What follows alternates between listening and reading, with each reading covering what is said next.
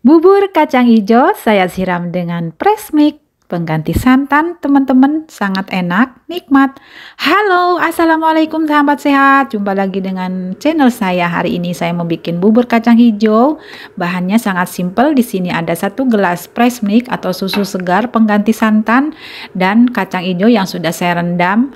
Lalu saya tambahkan dengan ubi kuning dan jahe. Di sini ada kurma yang sudah saya rendam. Untuk pengganti gula saya gulanya saya skip teman-teman. Jadi saya memakai pakai kurma teman-teman ya. Nah teman-teman airnya sudah mendidih dan masukkan uh, kacang hijaunya ya yang sudah saya rendam. Semua eh, teman-teman uh, bisa dan sangat mudah sekali membuat bubur kacang ini teman-teman dan manfaatnya sangat luar biasa teman-teman. Oke teman-teman kita bahas tentang kacang hijau atau bubur kacang hijau ya untuk uh, kesehatan Tak hanya enak dinikmati sebagai bubur, kacang hijau juga memiliki beragam manfaat sehat untuk tubuh dan cocok dikonsumsi untuk diet dan lancarkan pencernaan. Jadi, kacang hijau ini bagus untuk program diet untuk menurunkan berat badan karena kandungan kacang hijau tinggi protein dan juga tinggi serat teman-teman. Jadi bagus sekali loh. Saya masukkan jahe untuk penghangat tubuh ya teman-teman Kacang hijau adalah salah satu jenis kacang-kacangan yang mudah ditemui dan harganya terjangkau karena murah ya teman-teman. Teksturnya empuk dan cukup berserat setelah diolah ya kacang hijau ini bisa dijadikan toge juga ya. Nah, teman-teman, pengganti gulanya saya menggunakan kurma di sini ya, teman-teman. Karena saya tidak memakan gula ya. Kurma memiliki banyak manfaat untuk kesehatan, di antaranya, meningkatkan energi, juga menjaga kesehatan jantung teman-teman. Kalium dalam kurma dapat menjaga kesehatan jantung dan membantu mengatur, mengatur tekanan darah, juga menjaga kesehatan tulang, menjaga kesehatan mata dan kulit, juga menjaga kesehatan pencernaan, dan menjaga kesehatan anemia juga bisa menangkal radikal bebas. Kurma mengandung antioksidan yang dapat melawan prooksidan yang merusak sel dalam tubuh. Masya Allah ini setelah di blender halus jadinya seperti ini teman-teman ini untuk pengganti gula ya karena kurma juga manis teman-teman dan kurma juga bisa dijadikan pengganti gula putih, pengganti gula aren teman-teman. Jadi kita mengikuti sunnah Rasul. Nah setelah ini kacangnya sudah agak empuk, lalu kita masukkan eh, apa namanya ubi ya teman-teman. Di sini saya pakai ubi kuning untuk e, biar tambah kenyang. Jadi ini bubur kacang ini bisa dijadikan e, santapan malam atau juga makan siang teman-teman. Karena teksturnya mengenyangkan banget. Saya pakai ubi kuning. Nah kasih sedikit garam Himalayan teman-teman ya jadi kacang hijau ini bagus sekali untuk yang lagi program diet teman-teman.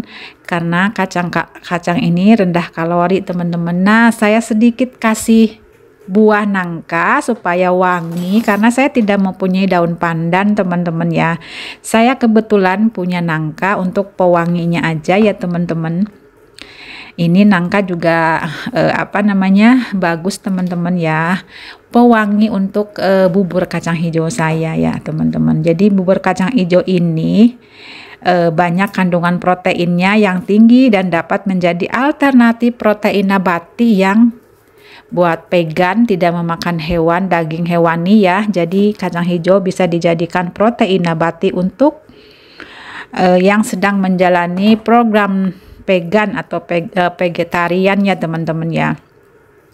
Jadi kandungan protein dan serat pada kacang hijau dapat membuatmu kenyang lebih lama loh teman-teman dan juga bisa mencegahmu memakan cemilan-cemilan yang banyak mengandung kalori atau mengandung lemak ya seperti donat apa dan semua apa bolu gitu ya teman-teman. Jadi bikinlah cemilan dari kacang hijau bisa dijadikan eh, apa namanya bubur dan sebagainya ya teman-teman. Nah setelah nangkanya saya potong kecil-kecil seperti ini lalu kita tinggal cemplungkan ke bubur kacang nanti yang sudah empuk itu ya teman-teman. Karena nangka kan e, udah mateng ya teman-teman. Jadi nggak usah lama-lama di itu asal ada wangi-wanginya aja. Nah teman-teman ini sudah matang ya. Jadi saya masukkan daging eh, apa namanya daging nangkanya ini. Lalu kita tutup dan tunggu sampai matang teman-teman. Dan kurmanya belum saya masukkan. Saya kurmanya saya terakhir ya. Jadi di sini di video ini saya bikin bubur kacang hijau.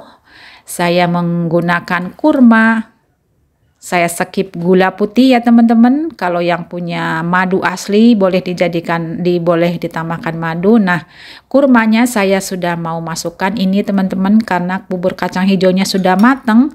Lalu kita masukkan kurma yang sudah saya blender halus. Ini seperti ini sudah manis teman-teman. Jadi cukup dari gulanya dari kurma. Kalau kalian teman-teman yang suka dengan manisnya dari gula silahkan aja pakai gula ya. Kalau bisa gula putihnya di skip teman-teman ya. Digantikan dengan gula aren atau seperti saya ini dengan kurma. Nah semuanya sudah matang lalu saya tangkat dan sajikan di mangkok seperti ini. Bubur kacang sehat ala saya.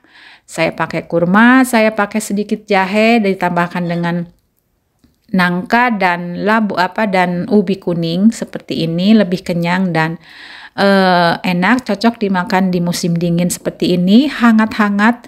Juga ada jahenya ya teman-teman.